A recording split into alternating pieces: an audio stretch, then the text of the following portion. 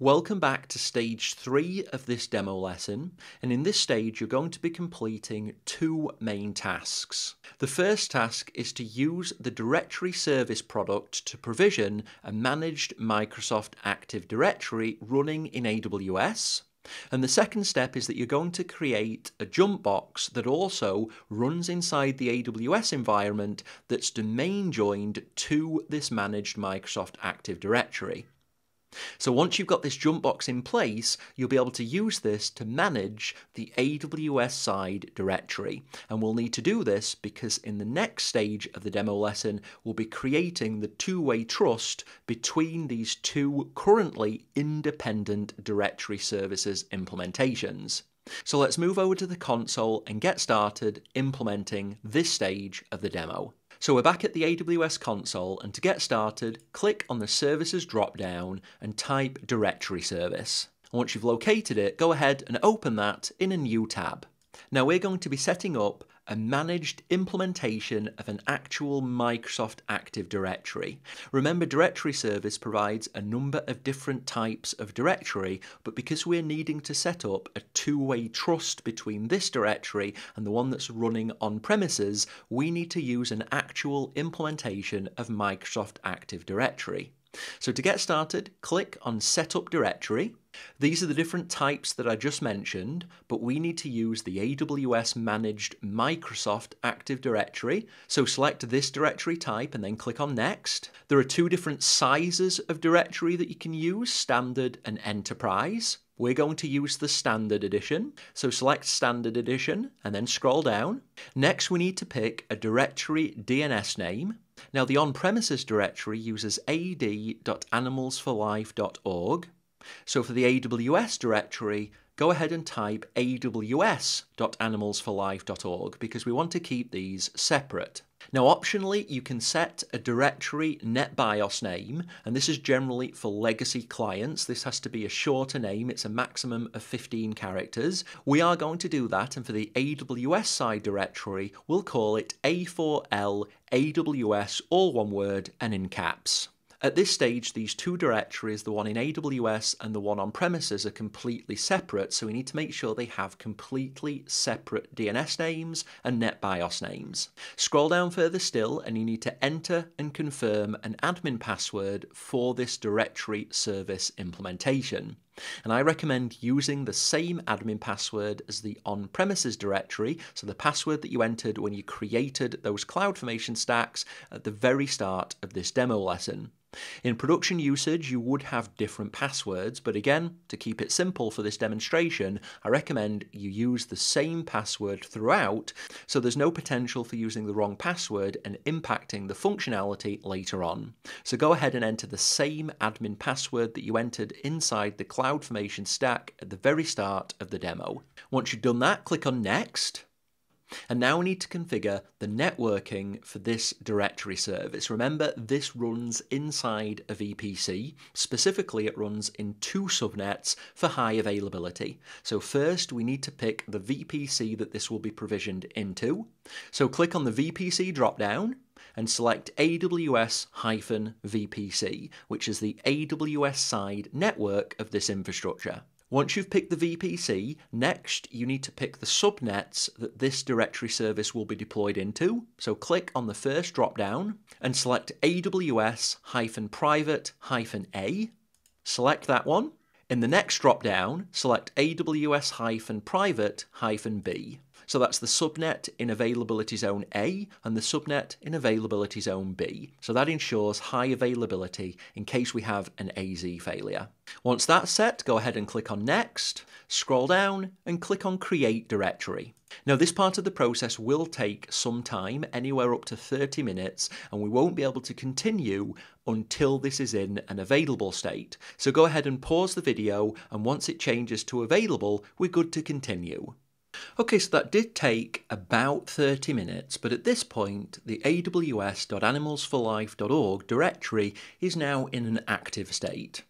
And now that it's active, we've got two completely separate implementations of Microsoft Active Directory within our environment. One of them is on premises and it's self managed, and the other one is this directory, which is a managed implementation of Microsoft Active Directory. Now, in order to connect these together to create this two way trust, we need to have the ability to manage the AWS side Active Directory. And to do that, we need to launch an EC2 instance, which is joined to this domain, and we need to install the Active Directory management tools. So that's the next thing we'll do in this stage of the demo.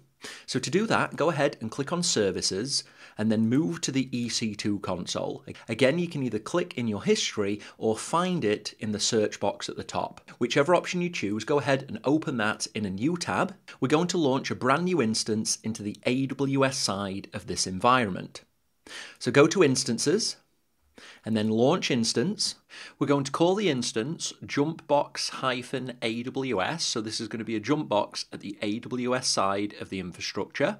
Then we're going to select Windows under Application and OS Images, and we're going to make sure that it's set to Microsoft Windows Server Base and the latest version. At the time of creating this demo, that's 2022. Scroll down again, and for the instance type, we're going to set t3.medium. Now, this isn't included under the free tier, but we do need this size of instance, so go ahead and select t3.medium. Under key pair, go ahead and select A4L, which is the key pair that you created at the start of this mini project. Scroll down again and click Edit next to Network Settings because we need to make some customizations. First, we need to set the VPC that this instance is going to be created within. So click on the drop down and select AWS-VPC. Then we need to manually set the subnet that this instance is going to go into. So click on the subnet drop down and make sure AWS-public is selected. Now this should automatically change auto assign public IP to enable. Just make sure that it is set to enable. Under Firewall Security Groups, check the box to say Select Existing Security Group, then click in the Security Groups drop-down and make sure you select the security group which has AWS VPC and Instance SG in the name. There'll be lots of other random, but that's okay. Just make sure you pick the one that says AWS VPC and Instance SG. Now scroll down again, we'll leave storage as the default, we don't need to make any changes, just go ahead and expand advanced details. We need to set the IAM instance profile, so click in that drop down and you need to pick the instance profile that contains on-prem VPC and EC2 instance profile. So make sure you select the right one. Then right above this, click in the Domain Join Directory drop-down, and you need to pick the AWS directory. So this should be called aws.animalsforlife.org. So go ahead and select that one. Everything else looks good. You can go ahead and click on Launch Instance. Now this will take some time to provision, and we need this to be finished before we move on to the next step. So go ahead and click on Instances, and you need to wait until the instant state changes to running and the status checks report 2 out of 2 checks passed. So keep refreshing this screen, pause the video, wait for the instant state to change to running with 2 out of 2 checks passed, and then we're good to continue.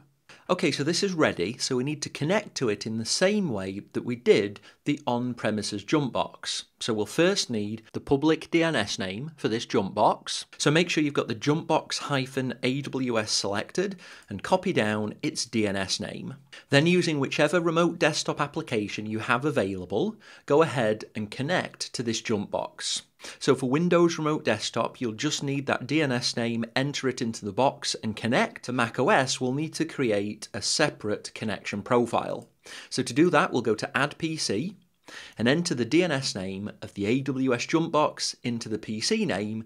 You might also want to add a friendly name, so jumpbox-aws into the friendly name box.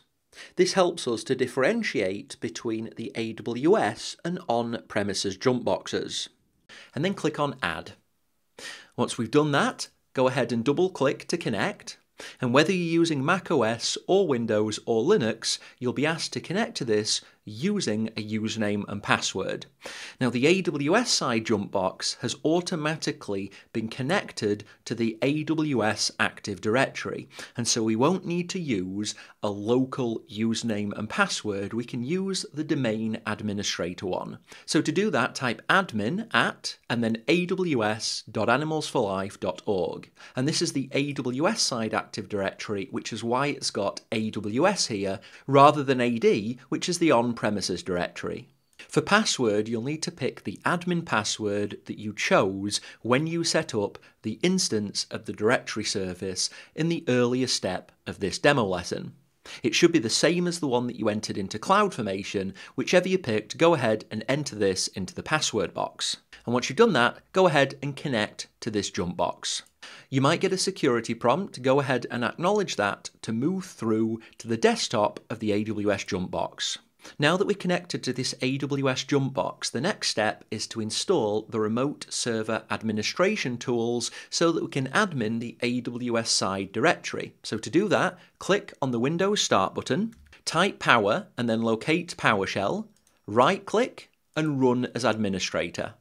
You'll need to accept the user account control prompt and this will open a PowerShell prompt you need to run this command to install the remote server administration tools and the, and the full command is contained in the instructions for this stage of the demo lesson. So enter that command and press enter and that will install the server administration tools. And again, you'll need to wait for this to complete before moving on with the demo lesson. So go ahead and pause the video, wait for this process to complete and then we can continue.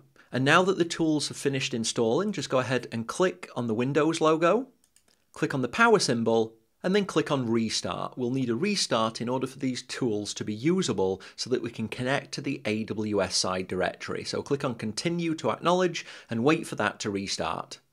Now give that a couple of minutes and once it's restarted, log back in to the AWS jump box. Once you're at the desktop, click on the Windows icon, and then go to Windows Administrative Tools.